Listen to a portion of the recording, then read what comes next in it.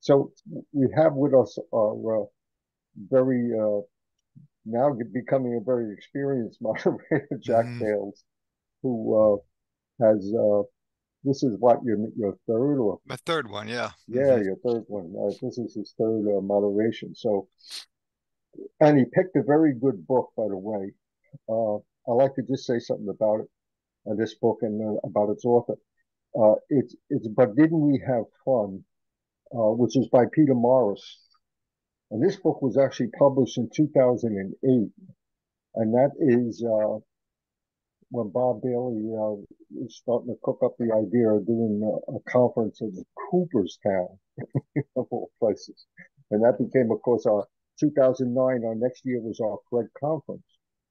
And the Fred conference that year was actually moderated by Frederick Ivor Campbell. That was the last uh, uh, time we we actually had him engaged in you know doing something with the committee, and uh, it was a great panel discussion. And the panelists were John Thorn, mm. Bill Ryczek, mm-hmm.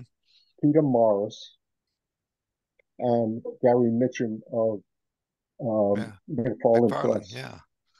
and the hitters. topic of that uh, panel discussion was going from research to writing to publication.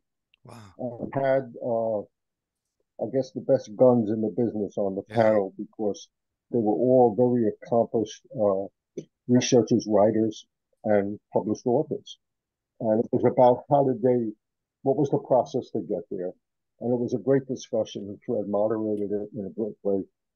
So uh, this book was very special because I remember reading it when I first got it, and that was right after it was published. And when I reread it, uh,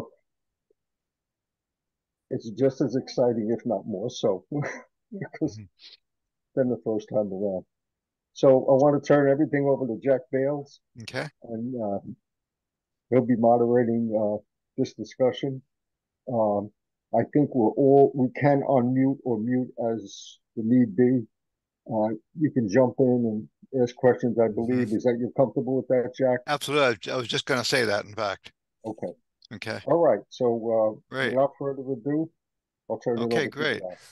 I was saying, uh, Peter said this is my third one. I think I'm I might finally get the knack of this now. But for what I did, I took a lot of, a lot of notes on this, and, and, and you know Peter covers so much here. And then I kind of condensed it. And so, for those of you who just want to kind of, as, as uh, Paul was saying, just kind of sit down and listen, that's fine because I want to cover an awful, because Peter covered so much stuff here and I've got it all in my mind here. If I want to go over some of this and here and there, I want to ask for questions and comments, but feel free to jump in at any time. Okay, so that's that goes without saying. Uh, now, I was recently reading a kid's book from the 1930s by a friend of mine gave it to me. He knew I liked baseball, a guy named Elmer Dawson. Was, and the book was called The Pickup Nine, or they always have a subtitle, The Chester Boys on the Diamond. And in the very first chapter, the second page, the author writes, quote, but in spite of the handicap of having a very rough lot on which to play and practice, the Chester boys and their friends managed to get a great deal of fun out of the game, unquote. And that, of course, struck me when I started reading the book because that's what Peter, the whole idea of Peter's book.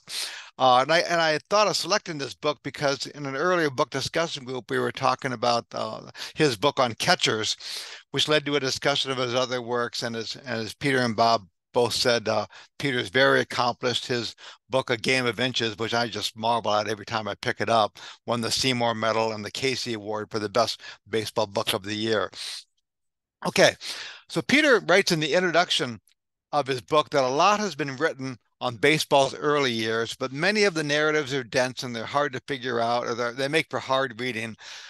So, but then he came across various accounts of baseball written by men who took part in the 19 or 1840s and the 50s and the 60s. And while they could not sta- stand alone, he set out to make a very cohesive uh, story featuring all these. And and that's what I think he, he exactly did. And I love, love, all the end notes in the back that kind of uh, uh, support his cohesive story, which I think is one of the hallmarks of his of his writing. Um, uh, Peter had examples to illustrate his points. Uh, he talked about the baseball grounds. I'm going to get to this and their drainage problems. And before an 1869 game in Washington, the field was so wet, he said that they had a, a, a steam fire engine to pump out the water on the field. He mentioned that the trees in the uh, tree in the leash is it pronounced Elysian Fields? Is that how it's pronounced? Elysian uh, Fields Park interfere with play. Uh, and he mentioned a speech at a banquet at the Excelsior Club in Brooklyn, in which the guy went on and on about the chicken pot pie, which kind of brought down the house. So I loved all his examples and, and his easy narrative style of writing Peter has. And as we all know, one can't really pinpoint the exact origin of baseball. And as Peter notes, there were a lot of bat and ball games uh, played in the U.S. in the 1840s uh, with the Knickerbocker Club of New York playing baseball in 1843. And he said that most clubs did not keep track of their activities, but the but the Knickerbocker Club really did. And and as he, I can tell by reading Peter's book that he relied upon these Knickerbocker accounts uh, very carefully, and he and the Knickerbockers recorded practically everything they did, which was highly unusual at the time. Um, I thought it was interesting when when Peter mentioned quite a few times that the rules were very fluid and that they varied from region uh, uh, to region and from city to city, and I guess even from um, day to day. Okay. okay, now here's something curious about. I wanted to ask you all about this, if you knew anything about it. And at first, Peter said that the clubs had no rules, as the members, of course, played for fun and they didn't think that they were necessary. And, and Peter said that the rules were designed to clarify disputed points rather than to spell out the actual intricacies and the mechanics of how the game is played. For example, they created the position of shortstop because they needed the position of shortstop. Uh, and after a while, there was no soaking, which wasn't a term I was familiar with until I read this book about, you know, throwing the ball at the uh, the batter to get him out. But after a while, there was no soaking because the ball was a lively ball and it hurt uh, and everything. And Peter said, quote, the solution was to create the rules that would settle these specific points while otherwise leaving things as they were. And uh, does that do any of you know about back then some of the rules that were designed for these specific points? Do you know of any rules that like Peter said, they vary from locality to locality, and if so, you know what locality? I'm, we're familiar with the Massachusetts rules and the Knickerbocker rules, but does anybody know of any, you know, really specific rules that varied? Because I I did not know of any. Can anybody? Okay. I, I remember as a kid playing, if you didn't have a full nine there, you know, right-handers had to hit to one side of second base and left-handers had to hit oh, yeah. the other side. Yeah. Okay. Uh, I don't know if they had those sort of things. I was, I, I, I was, I was born till 1880, so I, I don't recall. Right. right. yeah. Okay. Well, when I was a kid, um, the field I, uh, the neighborhood kids played on, there was a big pine tree uh, in the middle of left field, and if you hit the ball there, it was a ground rule double, for example. Oh yeah, right. Okay, yeah. Well, even in the major league era, you know, the there where you had a short fence, they would even if you hit it over the fence, they would call it a double. What what, it, what it brought to me was thinking about this, kind of like the last book we did with you know if I never get back, where you talk about a lot of the vintage baseball aspects of it. So uh-huh. you know, when we play as vintage ballists, we go out and the first thing we do is captains meet with the umpire, and you're like, okay, if it's hit here, it's this. If it's hits here, it's that, et cetera, et cetera. So you're talking about those specific rules for that location, but I think maybe he meant where it's like, okay, this is our set rules. This is our set guidelines. We're not going to call strikes. You know, this is a fair foul hit, whatever oh, yeah. it is. Okay. And then you've got all these other ground rules that come into play based on where you are you know, as vintage balls, we play in a cemetery. So if you hit it over here, it goes here, such and such. So I, I wonder if that was more of the they're starting to standardize those rules, which right. really didn't happen for another 10 years, as we see almost every year. Four balls, then there were five balls, and there were four strikes, and it just changed on and on. So I think there was a presentation at the Fred about three or four years ago um, mm-hmm. that about uh, the changing balls and strikes, if you will. That yeah. makes me wonder also about the fair foul rule when that came in. We know it was in existence in 76, went away in 77, but Seven, we don't. Yeah. Do we know whether it was in existence before that and for how long and when it was created? It, it, it was in existence through the whole whole National Association period. Yeah. Uh huh. Yeah. Well, that makes sense what you guys were saying, especially Paul about you know I didn't I didn't read it that way, and I probably probably should have, but thanks for saying that, and you other others too. Uh, Peter writes that the Knickerbockers were reluctant to embrace the whole competitiveness angle. Uh, and, and some clubs accepted members because of their skills, but the Knickerbockers appreciated the skills and they wanted to win. And Peter talks about how they really they wanted to win, but they they wanted members who were gent who were gentlemen who just enjoyed the game. Uh, and Peter mentions that too often the baseball writers, current baseball writers and historians, talk about this formal competitive side, but then neglect the fun side. So I went back and looked at John Thorn's book, and John, I know, talks about the, the fun side of things too, which I figured he probably would have. Um, now, most of my work on the, I did a lot, I've done a lot on the Chicago White Stockings, but most of my work started in the late 1860s, and that was beyond these fun years. But I did a little bit of digging around, and it was exactly like Peter said. I, I dug around in the in the New York Times database, and on August 23rd, 1858, the New York Times talks about a game between the Excelsiors of Brooklyn, South Brooklyn, and the Knickerbockers, and they wrote, "quote one thing was very apparent throughout the match. It was the gentlemanly, they always use that word, gentlemanly and good humored courtesy which was displayed by both parties to each other. In fact, it seemed anything else but a contest for the superiority between two powerful clubs. And afterwards, just like Peter says, they were escorted to a, to a big hall. Some 200 people provided a quote unquote scrumptious sumptuous, excuse me, sumptuous dinner. The Excelsiors won, so they were presented with the game ball. Uh, there were toasts, there were cheers, there were songs, and then a band escorted them to a ferry afterwards so they could go home. Um, and this whole part of this whole gentlemanly thing, this was all kind of fairly new to me because again, my research for the White Stockings didn't, I didn't really go into anything much before 1867, 68.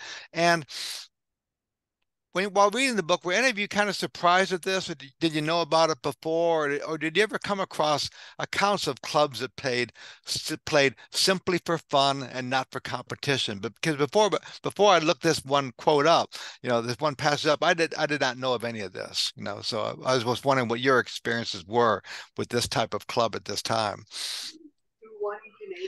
I think again, it goes back to me with a couple things for me for vintage baseball and for um, some of my own research. So with vintage baseball, we always are it's a gentlemanly game, and I could tell you that I'm a nice guy, but there have been discussions on the field that haven't. You're trying to keep your temper, but you're also like, you know, you have that nice little conversation with the fielder. Was I out? Was I not out? That sort of thing. Um, right. But I think what was interesting about that, what I picked out is that um, I've been looking through some of the scorebooks of the 1857 through 1860 Buffalo Niagaras, and the, he mentions in the book as well. You've got you know the Slims versus the Fats, or you've got these different folks, and you've also got what I'm seeing a lot of, and I think you have the first nine, the second nine. So you've got in one game you've got okay, these guys are on the Niagaras today. Tomorrow they're over here on this this this squad or what have you. So I think the gentlemanly is a couple things to me. It's a they're gentlemen because they're friends. I mean, they're all they all know each other. They're all this band of baseballists, if you will. And then I think the other thing about that too is that you know it is a gentlemanly. It's a, it's the era. It's the the the sophisticated gentleman. But I, they all know each other. They're they're playing for the fun of it. They're playing for the the bragging rights in a lot of ways, and they're mm, mm-hmm. a lot of it. They're trying to one up each other. You know, with these these chowder suppers, and this person had that one, and you know, oh, they and, and I what I thought was kind of cool for me. Sorry, I'm going on a little bit, but I read that account and then I thought of like we play vintage baseball, then we go to the bar, then we get food, then we have drinks, then we joke around with the other team, and it's just this whole camaraderie that just kind of starts and goes. Yeah. So yeah, that's where I really. Wow. I think it's just that that open that you know I don't know everybody knows each other. We're all friends here. Yeah. And even on the opposing teams, I take it. Yeah. My impression is that there's a kind of a distinction between intra club games where you're choosing up sides. Uh, one week you're a teammate of this guy, the next week he's on the opposing team. Intra club games versus inter club games where you mm-hmm. don't really know often the guys on the other side. I think the gentleman thing is more likely to happen on the intra club oh, game. I see. Yeah. That was kind of my impression. Yeah. Mm-hmm. I found it really interesting that there was such an emphasis on being gentlemanly. You only say that over and over again if there's a really serious chance of it not happening. Mm-hmm. Um, these are not gentlemen. These are these are middle class men mostly. Um, these are these are working guys, um, and some of them are working class. Uh, and I also found it interesting that in the U.S. of all places, um, there would be such an emphasis on gentlemanly because a gentleman is a noble, and the one thing that the U.S.'s history is all about is not having any nobles. So you have this kind of false gentlemanliness, which is being enforced repeatedly, so you don't behave in the way that you might normally behave. Well, Christopher, that's a good point because you mentioned working class. Well, Peter says that a lot of the clubs, again, which I did not know, of, were based on occupation, like firemen, where had what a great dis- where had a great distinction in the in the community because they put out fires, but there was I had no idea there were the Etnas and the mutuals, but these were based on insurance companies, yeah. and they had clubs which were uh, you know, in honor, the names were in honor of insurance companies or in honor of fire companies. And the Eckfords were based on a shipbuilding company uh, firm, and the the members were all shipbuilding people. So yeah, definitely working class. So yeah, well, there are people. There are people of different classes here, right? Some of them are yeah. office workers, like insurance people, and some of them are right. shipbuilders, and and uh, uh, firemen were notorious for being roughhousers, you know, in those days, as were policemen. Um, so it's interesting that there's this emphasis. They keep repeating it over and over again. We're going to be gentlemanly, and uh, yeah. clearly there's an issue here. Yeah. well, there, there, were two words that were used in that context. Gentlemanly, I remember Chadwick writing about these things. Uh, gentlemanly, because he didn't want to see arguments and and gambling and, and drinking and whatnot, but he also wanted to see a manly game. Yes. Uh, th- that's the other word that was used. So that was skillful, I think, is what they were really getting at. Mm-hmm. Oh, yeah. Uh-huh. Well, uh, on that point, I think the other word that comes up is scientific, too. Um, the, the, the desire, I think, to make this game from a scientific point of view more and more comparable to how cricket was played, where you had a uh, a, a, you know defined set of rules, a defined set of behaviors. Um, but you also had a hard ball that could be hit a long distance that stung when you tried, you know, if you didn't catch it the right way. There were a whole bunch of features of it that once you move from the softball of the soaking age to the hard ball of the, for want of a better term, the Knickerbocker age, the whole nature of the game changes. And the the the best way I think about baseball in this period is kind of the difference between how you played sandlot baseball or any sandlot game where you got together with friends and just made up you know you had to have agreed upon rules obviously and a way of playing but you also had to have ways of solving your problems if a dispute arose um, as opposed to organized kids games mm-hmm. where now there's grown-ups who are running the show there are specific rules there are ways of settling disputes etc and it just psychologically just changes the whole character of the sport mm-hmm. There's a there's an aspirational element to all of these words there's a commonality to them that is aspirational whether it's manly gentlemanly scientific and if you're looking at organizations or associations of men who were firefighters or workers or whatever they were. To, to me, a, a lot of what's going on here is baseball as an effort to recast yourself in an aspirational sense mm-hmm. by playing this game well. Yeah. Yeah. And after the Civil War, Peter gets into that because a lot of the people were just at a loss because they felt that the younger generation was taking over and they didn't know what to do, which brought about the whole muffin games, which is how he closed his book. They wanted to keep they wanted to keep playing, but they weren't good enough for the new teams. Real quick, uh, just a quick before we move on to the segue, the gentleman. every book we read or go through, and every newspaper article we look at, they always point out you have the gentlemen and then you have the ladies. And every aspect of it, they always talk about were there ladies present? How many ladies were they there? The ladies brought out the gentlemanly play and they gave three cheers for this and three cheers for that. So I think it's really interesting. And I, in a way, maybe it's a chicken or the egg, you know, are the players playing gentlemanly because there are ladies there? Are the ladies coming out because the players are, by definition, gentlemen? Um, and I don't know. I, I I find that whole aspect really super interesting. And I I know I've mentioned this other times, but we had mm-hmm. the presentation two years ago in Cooperstown about muscular Christianity and that movement. you have that whole like wholesome. You have the Whitman quote about you know we brought good lungs into our airs and went out you know went out and I you know we just uh, you know it was it was this whole like fitness aspect. Gentlemanly fitness ladies are there. It was just this kind of all wrapped together for me. Mm-hmm. yeah. Well yeah. you know uh, the first three par the first three chapters of peter's book uh, really center around the knickerbockers yeah uh, it talks about the knickerbockers in the uh, you know what baseball was like before the knickerbockers mm-hmm. town ball and so forth. Right. And uh, a little bit of cricket being played, of course. Uh, quite a bit of cricket in the New York City and Philadelphia. Um, then he talks about a little bit about the uh, about the Knicks, Knickerbockers, uh, about their game, about who they are, mm-hmm. and they are not just working class guys. I mean, they are, for the most part, people that are involved in some kind of merchandising or have some kind mm-hmm. of a profession where they have some free time and, and can make mm-hmm. some free time for themselves uh, to play their their style of the game, and and they create these rules for their club.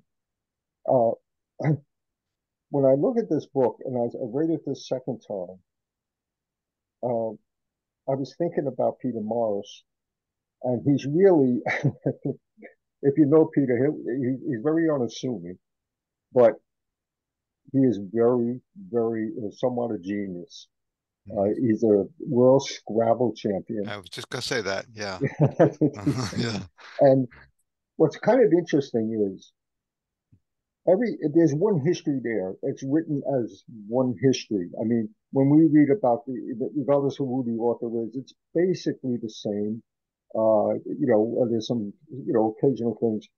But what's kind of interesting is when you have a guy like Peter Morris reading it, he's making observations and sometimes emphasizing points that, uh, for the most part, is going over most of our heads. you know, yeah. We're just, uh-huh. taking, we're just taking it at face value. But when he talks about uh, things like uh, you know carrying on the traditions of the game, what were the what were the fields like? You know, how do we uh, finally derive bases? You know, uh, from uh, post in the ground and, and so forth and so on. And he he starts to put all of this, uh, as I read it, he kind of starts putting this all into a, se- a, a sequence. Mm-hmm. You know, time is traveling on, and he's keeping right up with it and I, that's what I found so enjoyable about the book was his um, ability to kind of uh, introduce new aspects of the game, like the socializing that you mentioned, and and other things, other rituals. Mm-hmm. Yeah, thanks, Peter. Yeah, yeah. You you mentioned the the the the ballparks and the fields, and uh, I remember Peter mentioned that uh, uh, sometimes the ground was rocky, that wasn't at all flat, and that there were trees in the way. And of course, there was not. Then he goes on to talk about how there was not much available land in the middle of the cities and outside the city limits. There were transportation problems. And I'm reminded about my work with the Chicago White Stockings in 1884. The city of Chicago was in possession of the lakefront where the Chicago's had their park. but the federal government owned the land. And, and in 1884, May of 1884, the government sued Chicago and the White Stockings because they said the city did not have the authority to allow any party to use public land for private or commercial purposes. And that's when Spalding had to go and to the west side. But does and you uh, does anyone know of any problems other clubs face with finding ballparks? I know this was a big deal. Peter says finding a place for a ballpark, but does anyone know of any specific examples, like especially before the Civil War? I know the the uh, the Knickerbockers, of course, went to Elysian Fields, but uh, any other examples anyone know of? Because I know I don't. Anyone? Okay. Anyway, Peter writes that the baseball was able to spread across the country from uh, New York as the rules were printed let's see, Porter's Spirit of the Times and also the, the New York Clipper in December of 1856. And of course, the United States was making a, a, a transition from oral communication to print. And the country was becoming a nation of mobility, he wrote, because we had the canals and we had railroads. And, and also, there were the printed rules, but Peter said there was usually one or two people in the town who had played baseball or at least seen baseball, the new types of baseball, and could be an instructor toward the other people. He said like the rules were fine, but it was also good to have someone who really knew what they were doing. And uh, so Peter talks about the Massachusetts rules and the Knickerbocker rules. And two of the main features of the Massachusetts rules were that the players could put a runner out by hitting them with the ball, you know, called soaking, uh, and this obviously could hurt until a lighter ball was introduced. And also there was, and this kind of took me a while to get my head around, there was no foul territory, so runners were not required to stay within the bases. And, and Peter mentions at least twice that the batters could hit the ball, you know, over the catcher's head because the whole area was uh was fair fair game, so to speak. And of course, the Massachusetts rules gave way to the, the Knickerbocker rules, but were were there any reasons why the Nick? I, I figured one one reason they were popular, the Knickerbocker rules, because they had foul lines, and in a, in a in a in a small area you needed you needed a small a small field. But were there any other reasons why the Massachusetts rules kind of went by the wayside in favor of the Knickerbocker rules? Anybody have anything? Well, one thing he points out is that uh, even though those rugged 19th century players and you know guys playing the game didn't want to be hit by the ball that hurt. and, yes. Mm-hmm. And the mm-hmm. Knickerbockers had forbade that. Uh, yeah. Uh, and of course, it was all part of the Massachusetts game for quite a while um, uh, until they adopted the uh, the New York rules itself. Um, so I think that's the additional factor right. of uh, mm-hmm. you know being being soaked. plus Peter gets into this several times throughout the book. He kept on talking about how the, the baseball was frowned upon by some of the genteel people because it was childish. And with the Massachusetts rules, there involved a lot of running, which seemed childish to a lot of people. But with the Knickerbocker rules, there was less emphasis on running because there was uh, and and it seemed a bit more manly. We talked about Bill, we talked about Manly there, and uh, and players like to hit the ball hard and far, and running seemed to be associated with kids, but you know hitting the ball and hitting it hard seemed to be associated more with adults, and again seemed more manly and and and and more men-like, and and that's another reason why the Knickerbockers, I guess, rules took over because of this whole childish angle versus the manly angle. Oh, I, I, I think about. I think the but I, obviously, the ball in the soaking game did not weigh as much, was not as heavy, did not, you know, sting when it was thrown at you. It was like almost like a Nerf ball. Oh, and yeah. in many ways, that would have constrained the field of play. It would have made it basically a game played within the confines of the bases. I mean, you wouldn't be able to hit it farther. And and yeah. so the profound I I've always thought that the profound thing about eliminating soaking uh-huh. was that in fact it allowed for a much harder ball. And if oh, and if yeah. you look at the weight of the Massachusetts ball and its regulations versus the New York game, I believe, and I, I, I may be wrong in this, that the New York ball was about three times as heavy as mm-hmm. the ball used in the Massachusetts game, and for very good reason. Mm-hmm. You, because it it's it hurt if you it yeah. would hurt if you threw the, the hard ball at somebody, so you didn't throw mm-hmm. it at You yeah. know, you had to change the rules of the game. The other factor I would say in terms of the 360 degrees that was associated with the soaking game, where you could hit the ball, it it wasn't a great game. And if you've ever been to a cricket match, you'll you'll have this experience. I've been to a cricket match a couple of times at Lord's Cricket Ground, and what struck me more than anything else was how far away from the action you are. That the wickets are placed in the center of the field for obvious reasons, because the ball can be hit within a 360 degree boundary. Whereas with baseball, it's a 90 degree boundary, so you can have seating and and and spectators right up close to the yeah. action. And I think mm-hmm. that must have been a profound, you know, impact upon why spectators would find baseball a far more fascinating wow. game to get up close to than cricket, where you're cricket, yeah. Even if you have the best seats, you're a long way from the action between yeah. the wickets. Seems to me I always thought that factors that that logically come into play. One is simply uh, population. New York's bigger than Boston, even in those days, and it had more baseball teams, more guys playing. Uh, sure um, did. Uh, so I would think that would just give momentum, more momentum to the New York game compared to the Massachusetts game. I always saw it with me uh, when I re- look at the rules of the New York game versus the Massachusetts game. To me, for lack of a better re- a better statement, I always thought the New York game was much cleaner. It's just a clean.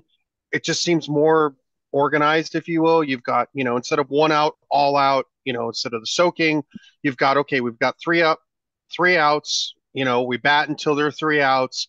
We have you know restriction. We don't have restrictions on runs. We don't have to do this rule. You know instead of actually throwing it at the runner, we're throwing it at the base. It's just these simpler, more clean rules, if you will and then I think the interesting thing we when we read the the other Peter Morris book about the Murphy brothers groundskeepers, huge thing he talked about in there was about the the the suitable ground, the lack of suitable ground. Yep. And how hard it was to find in those early years. And if they did find suitable ground, well, two years later, oh, sorry, this is going to be sold for a, a market or housing or whatever it might be. So you had to condense the game down into those New York rules, which were much shorter to maybe go along with the lack of, like you said, the the inability to find these great places to play.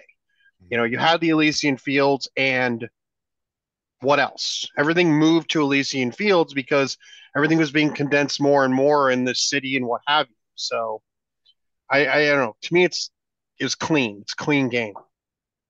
And I think that's why Peter said that cricket well, you mentioned a couple of reasons why cricket didn't take off, and one of the reasons was because you really needed a, an immaculate field, a really flat, and there just weren't that many places that were really flat. He says, you know, they were rocky, had tree stumps and everything else. And as uh, someone said, the, you know, there were a lot of running and a wide field. The spectators couldn't even get close, and everything else. Uh, and speaking of spectators, uh, again, more the whole gentlemanly aspect. Peter mentions that uh, the spectators were were expected to applaud good play on both sides. Even if you had a favorite team, you applauded people on both sides. Uh, and players were expected to be honest about catching a fly ball or were, or were tagged out. Uh, umpires were treated with great respect by the players, and umpires' role was to ensure compliance with the spirit of the rules and really not the letter of the rules and to ensure that players acted in a in a gentlemanly fashion. In fact there was the example peter said of a of a player who caught a, a ball in the pocket of his sack coat. And uh, the player said the rules didn't say that you couldn't that you had to use your hands you couldn't use your coat to catch the ball. So he expected the the umpire to uh to uh to rule on that. Uh uh but then he goes competition started creeping in and it started being less of a gentlemanly game. The umpires were given the authority to call. I guess, and I think Peter mentioned that the whole balls and strikes is when things all went to hell, so to speak. In 1858, umpires were given the authority to call uh, strikes on a batter who didn't strike at good pitches. Uh, in 1864, the concept of, of call balls were introduced to complement the called strikes. And Peter wrote that almost annually the rules makers tweak the number of balls and strikes, or they place restrictions on all these decisions, and uh, and all this tinkering of the rules, he says, set the message that the, it was now the letter of the rules were more important than than than the spirit, and in fact, the balls and strikes stop help stop the baseball from being uh, a, a gentleman's game. And also, and before before this, the player's honor was at stake because that was all that was needed to prevent him from falsely claiming to have tagged somebody out or caught a ball in the first bounce on the fly. And now the the umpire was involved, which who was supposed to make all these subjective uh, decisions. Um, and Peter writes that some clubs ignored rules that they didn't like. And maybe we got into this already, but I don't know of any specific rules that were particularly ignored by clubs or, or Paul in your your vintage. Well, I guess you mentioned too that you we all agreed beforehand, you know, what what was going to be done here, what was going to be done there, but I did not know of any other, you know, specific rules that were ignored by by clubs back then. Uh, I mean, there he talks about baseballs themselves. Uh, I think it was like 10 ounces after a while the baseball was i think he said. But he describes how baseballs were made either by players or by skilled craftsmen in the area. I think he even said that uh, if you didn't have a walnut for the center you could use the eye of a sturgeon which sound kind of gross to me you know? Uh, and and and winners of the games would take home the game ball or a new one when a ball could be could be spared. And the and Peter said they'd write they had like a calligrapher write the name of the name of the teams on there, the date and the score, and sometimes they'd be gilded, uh, and they and they present them with great loftiness to the to the winning to the winning team. Uh, and I think John Thorn may have mentioned this, but uh, uh, there was a museum who had uh, one of these or maybe a couple of these balls on display from their local long ago club. But I would love to know if there were any other museums or place that would have some of these old time balls from the from the 40s or the 50s or the 60s. Um, and baseballs were used until they literally had the stuffing knocked out of them. Then a lively ball would become a dead ball, and, and of course, uh, this would this would affect uh, score. And then we talked about the Knickerbockers preferring the hard, lively ball, and this went a long way to establish again establishing baseball as an adult practice. You know, it was no longer childish. There was less emphasis on running. You had a hard, lively ball. Uh, you had a hard live baseball with no protective equipment brought on injuries, which were at first badges of honor, I guess Peter says. Uh, it also brought about broken windows and injuries to passersby, which again then brought more and more emphasis to the fields outside of town than from playing in the in the in the city uh, uh, the city centers and and and the New Yorkers went to the uh, Elysian Fields. Um, I mentioned the baseballs, but Peter spends a lot of time talking about the bats too. And bat- batters made and use their own bats. that could be five feet long and, as, as he says, as quote as thick as logs. Uh, the rules gradually adopted to restrict length and thickness. And and uh, I don't know much about bats. I remember in our last session, Joanne was talking about a bat that she had a duplicate a bat made to resemble a, a, certain type of bat. And I vaguely recall reading the bats were uh, pat, like paddles at one time. Uh, did anybody have any comments on the bats that were used back then, or like Paul in your vintage game? Are, are there specific bats that you use? Anybody? I'm sorry, I was eating dinner. oh yeah. I mean, there's you know we we play by I can't remember the 64 rules obviously, but there's only within it has to be this long and this one, and that's it. There's just very, very yeah minor things. You've got the different styles of them, but yeah, it's it seemed like you could pretty much walk up there with a war club or walk up with a, we- a wagon wheel spoke. It doesn't matter. We've done some of the, you know, to show what you could use. I've seen buddies of mine walk up with a wagon wheel spoke just because. So, yeah. uh-huh. but yeah, I, uh, Okay. Um. Well, don't don't some of this, this bat differential come from come from England because they use different ways to play rounders and what they call baseball and various things. Because some of them were paddle games. Some of them we've seen lots of pictures of the old Judge series where the bat looks like it's twice as long That's as right. a bat.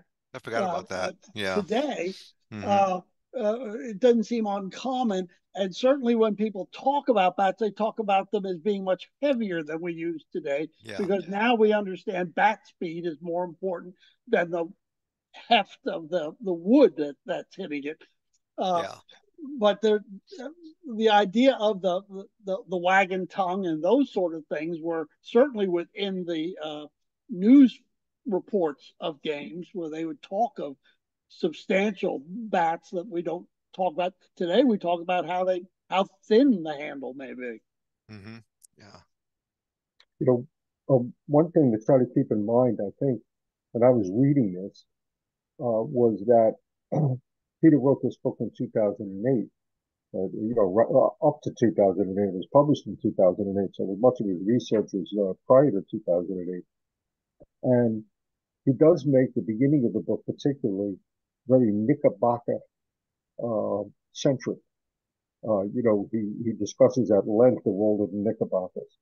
And, you know, I recalling, you know, that when you think about Doc Adams and his role in the Knickerbockers and being vice president of the Knickerbockers and joining the Knickerbockers around 1843 or so, oh, 1840, about 1845, I think he's the vice president. By 1857, 58, he is codifying the rules, the first rules of baseball. So this accumulative effect of the Knickerbockers kind of, you know, coming up with some of the rudimentary things and then slowly but surely a couple of playing activities, you know, demanded that other rules be clarified and so forth. And by the time Doc Adams in 1858, 1857 writes the rules of baseball, he's incorporating all these things. Uh, what's going to be very interesting to me is that at the Fred this year, our panel discussion is titled, How Important Were the Knickerbockers? Mm-hmm. Now, what's kind of interesting is this is a panel discussion that's going to be taking place probably about 20 years after Peter Morris began his research for this book.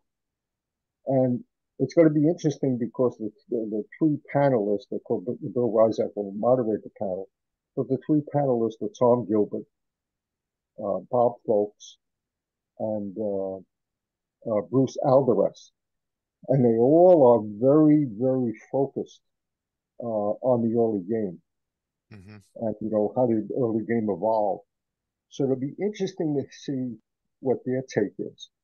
Whether the Knickerbockers as important uh, as we think they were. so mm-hmm. it's going to be an interesting discussion. Yeah. Well, and and to that point, Peter, um, Peter Morris makes the point that having instituted or or written out these rules in the mid 1840s, they did not proselytize. They did not try to, you know, seemingly they they didn't engage in games with other game uh, teams where they you know, they they played largely within themselves, and you know, it, it's almost a ten year period before baseball really takes off, and so it, it really kind of begs the question, you know, what was going on in those ten years that caused it to suddenly explode, you know, in in the mid 1850s and not in the 1840s when they developed those rules. I, in my mind, that's one of the great conundrums of, of trying to you know, come up with with a, kind of an explanation of why baseball took off, you know, so many years after they brought in those rules. I don't have an answer. Yeah. Just around the time that those rules were being written in 1858, and as Bill, as you point out, about that 10 year or so, or more, more years than, uh, almost more years than 10 years, of the Knickerbockers almost playing among themselves and, and not really, uh, you know, right purposely advancing the game uh, to other clubs. Uh, it'll be interesting to see uh, what the perspective is of some of those other folks who are really, uh, you know, a kind of ex- expert panel in a sense for this particular period of time. Um, so I, I, I think it's going to be pretty fascinating discussion. What, what gets me in, in Peter's book is that all these little minor things, just minor things would help change the whole course of baseball. He talks about the bases, like bases were tree stumps, so of course the, the distance between bases was not was not uniform. Then they went on to stakes, but players could hurt themselves, and then they used flat stones, and that did not stop the injuries. And then they used canvas bags, but people got tired of of, of carrying them. And of course, there was still a problem of the umpires couldn't um, see the bases, so it was hard to see whether a player was out or safe. So then honesty started going out the window and the whole gentlemanly aspect, and uh, uh, and players accepted uh, the umpire's ruling, even when they knew he they were wrong. Like no more of saying no, no, no, I was out. You know, they say, hey, if the umpire calls me safe, I'm going to be safe then. And as Peter wrote, quote, seemingly minor alterations to the game, when accompanied by changes in the spirit in which the game was played, were a major threat to the increasingly delicate fabric of baseball's pioneer era. So it all just kind of starts all cascading uh, forth like this. And of course, with now we talk about the lively ball. The ball clubs were crowded, eventually now crowded out of the city's parks. Uh, uh, one one park person said, "Don't damage the trees." Well, the trees were damaged. Uh, there was hard for the grass to grow. Uh, uh, then ball clubs were were not really good neighbors, I guess. Peter said there were trespassing complaints. There were the cutting of fences. There were also obscenities with the ball players, maybe with the spectators too. I don't know. Uh, the tendency for baseballs to to break things. Clubs had to play on lots and fields that nobody wanted. In the process, the game was modified too. Uh, drainage problems. A lot of the fields were anything but flat, or even if a flat, uh, uh, the field was flat, there was uh, next to a stream in which balls would land and get lost, kind of like what Paul was saying when they talked about before his, they'd get together and, and talk about the conditions before the game. The fields would have high grass, they have dried vegetation. The clubs found it hard to deal with rain. And as Peter wrote, quote, all of these deterrents could have a dramatic effect on how baseball was played. Though infielders would check problem areas of the field before the games, they position themselves uh, accordingly. If the base were in the middle of the puddle, they'd move the base. then clubs, he said, moved to kind of gradually move to dead baseballs because in, of, of, quote, of, quote unquote real estate. You know, the the fields were not big enough for the lively balls and the and the lost balls, and uh, uh, and all of these things meant that the game would be played differently from from town to town. Um, I like what Peter said about the folksy or the backwoods conduct that often attracted attention. Like some of these people would would play up this aw shucks Andy Griffith type atmosphere because it would kind of disarm the team coming to town. Uh, and in my own my own uh, my white stocking research, I learned about the Pecatonica Illinois club, which entered a major tournament and they lost a game 49 to 1, but they did win a silver trophy on which was inscribed the, the word practice. Because Peter mentions that there was always a pra- the, the hope of practice, the practice of hope, I think he said, where the clubs believed that all you had to do was keep practicing and you'd achieve success. Uh, and I mentioned before about the clubs having the common traits. You know, they had the silk stocking trade, they were the Irishmen from the West Side, and they had a lot of clubs were organized by occupation. And I and I know I, I started going through some of the names, the unique names. Uh, uh, St. Louis had the unions and the empires. I don't know what that really particularly means, uh, unions or empires. New Orleans had the Atlantics, the Robert. Lees, the Southerns. Baltimore had the had the pastimes. I'm not sure if they had any particular meaning or not. I don't know if anybody anybody would know though. I always read and uh, that after that the Civil War was important because the soldiers went home and they brought the, the baseball with them. And, and, and Peter says that that is true, but there are more accounts about how clubs disbanded after the Civil War. And I did not know that at all. Uh, some of the leaders of baseball clubs came back, but they had other responsibilities too, and other people took their places. But the old leadership was gone, honesty was going out the window, and allegiance to one's club. And Peter talked a lot about the whole civic pride, the whole allegiance to your club was was governed by a whole mercenary uh, approach now too. Uh, uh, younger people were taking over the game. There was a vicious cycle with umpires. They made more rulings. The umpires did. So players started to not being responsible about uh, uh, about being honest and upholding the interests of fair of fair play. Uh, and then, of course, want to at the time here. money I love to talk about money because money is at the root of everything, I guess. The non-playing members of clubs uh, help financially support the teams started to resent being financially supportive of the teams. The, the star players started going for greener pastures. Uh, the clubs turned to admission fees, which made sense, but it's hard to enforce admission fees when you're playing on an open lot. So then they started building these enclosed clubs to build when you built the enclosed clubs you need enclosed fields you needed money to support these things uh, and then the players realized that the owners were making a profit, so they started wanting money too. It was all just built upon itself here. They wanted their own share of the money, and there a lot of, pushback about this. The veteran players resented it because they had paid their own expenses before. Uh, then there were the non-playing members who felt that their money was going toward the greedy owners. Uh, Peter said there was a lot more than than just this. The clubs collected admission fees, but they were also assuming their share of the uh, of the expenses. So it was hard to determine what was income and what was just being reimbursed uh, for expenses. And then, of course, you get into the amateurs versus professionals and how the players got cushy jobs, sometimes in government. I like what he said about the Treasury Department and the Nationals in Washington. The Treasury Department was putting, putting, uh, uh, providing all these bill, all these jobs for player for players. Um, hey, Jack, I'd like to go back to the Civil War argument for yeah, a second. Uh-huh, sure thing. So, so I read this too. I think we've all probably seen this. And somehow the Civil War was responsible for spreading the New York game around. But, but, but Peter Morris argues that in fact the the spread had begun before the Civil War, and it was really due to college students, you know, leaving the New York area and going to colleges. And I found that a very odd argument. First of all, an infinitesimally small number of people went to college in the mm, 1830s yeah. and 40s. It's less than 5%.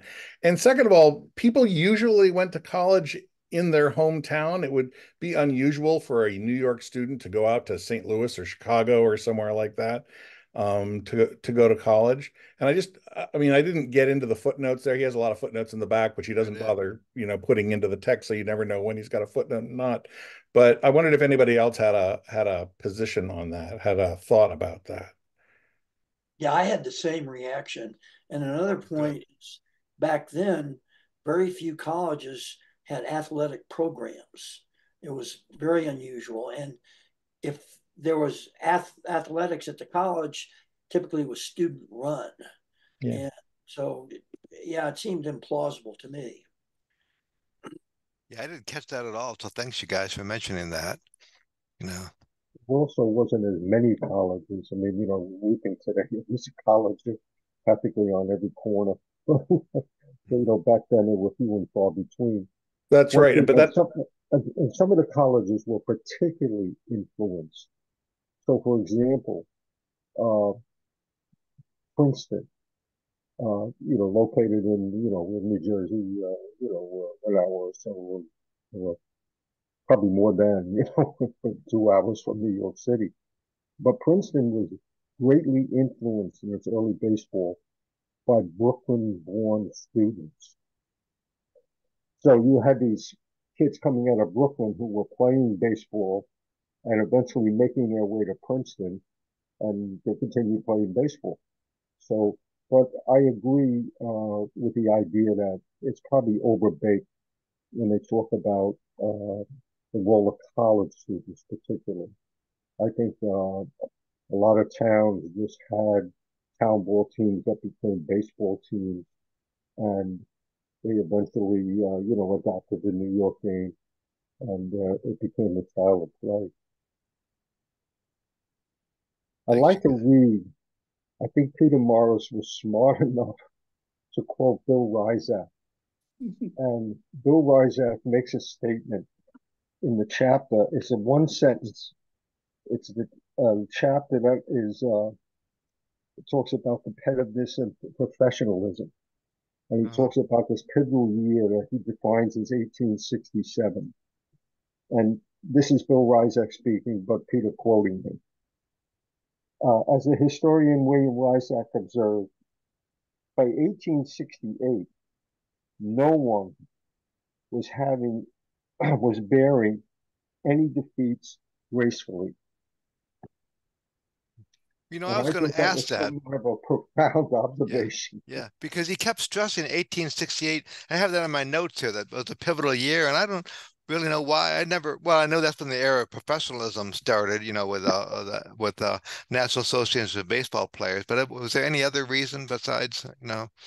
Well, I think it's Peter Morris's march. Yeah. Uh, toward, you know, the vanishing of but didn't we have fun? Fun, right? Uh huh. To a game that was not so much fun. Yeah. Until it, until a certain aspect of it resurfaced again. Yeah. Yeah. My thinking. yeah. As Peter wrote in one time, I'm looking at the clock here, you guys, says, uh, quote, ball players began to revolve from uh, they talk about revolvers uh, naturally, and uh, more and more people demanded money and larger gate receipts. Club allegiance suffered, and as Peter wrote, ball players began to revolve from club to club without regard to feelings of kinship and loyalty. Uh, and the ball field in New Park had created great expectations. And when the club lost, they were heavily criticized. There was no longer civic pride. There used to be civic pride in which, you know, we'll get them next time, so to speak.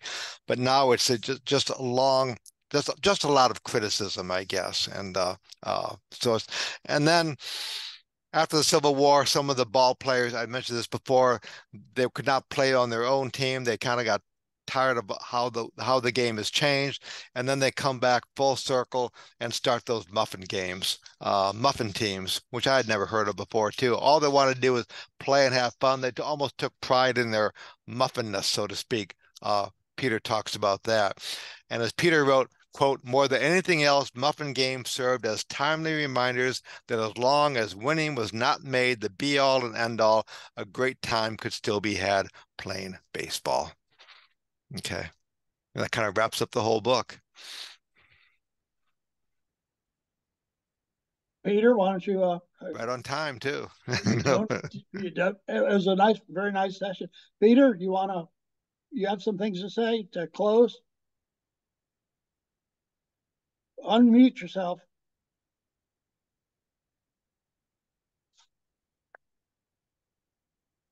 You're muted, Peter. We can't hear you. Can't hear you, Peter. Hmm. There you go. I keep doing that. Yeah.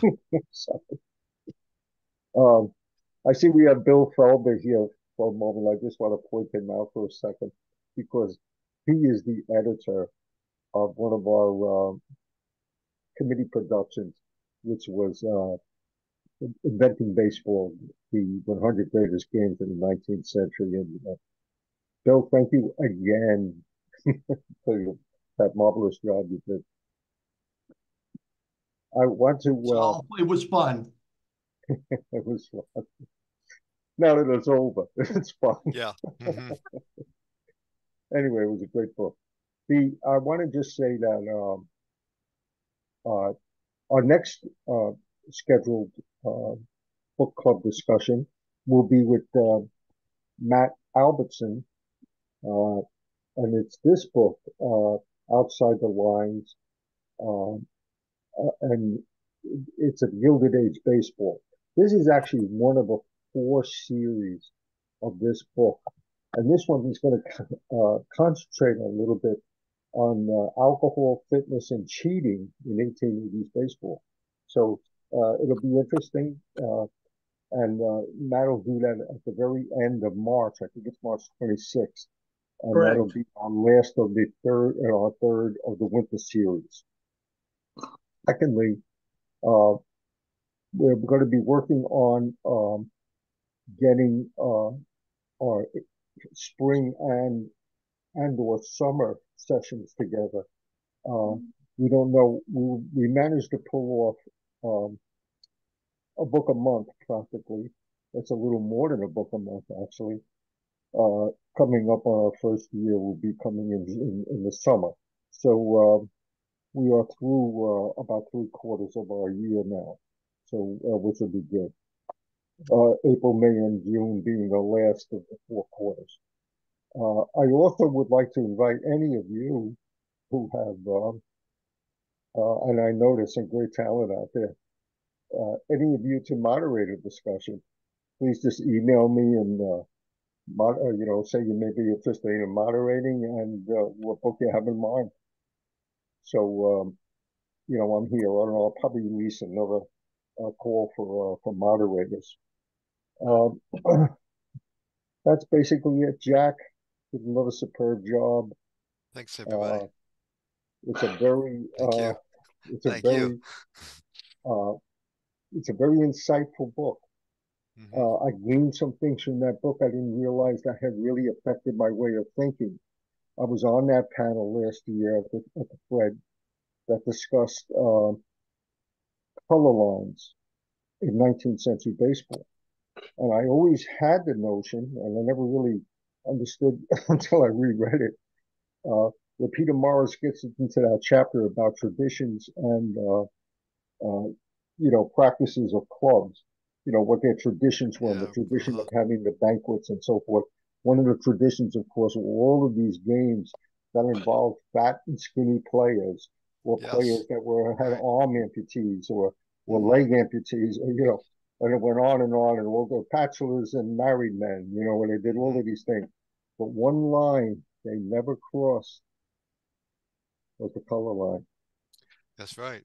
And it was an interesting point, and I was somewhere it was buried in the back of my head, and it was a point I tried to make on that panel uh, about the uh, failure of uh, integration in 19th century baseball. Uh, was that it it grew really very deep and, and went very far back, you know. And Peter makes that point. Yep, we did. Uh, so, you know, it's kind of like uh, having Einstein in the committee, Mhm. and your committee happens to be on physics. Yeah. Mhm. And that's what kind of Peter Morris brings to the table. You know, he kind of he makes these observations and so forth, and I thought they're very interesting. Well, again, Jack, thank you very much. Thank you, Uh, everybody. I appreciate your attention and your comments too. Uh, I love having a real discussion like this. yeah, it's a great discussion. You know, he offered so much here. Mhm. Bob, That's all. Everyone have a Okay. good night. Yep. Thanks, Good night, everybody. everybody. Again, thanks, everyone. all right, thanks, Mhm. thanks, everybody. Uh, See you soon.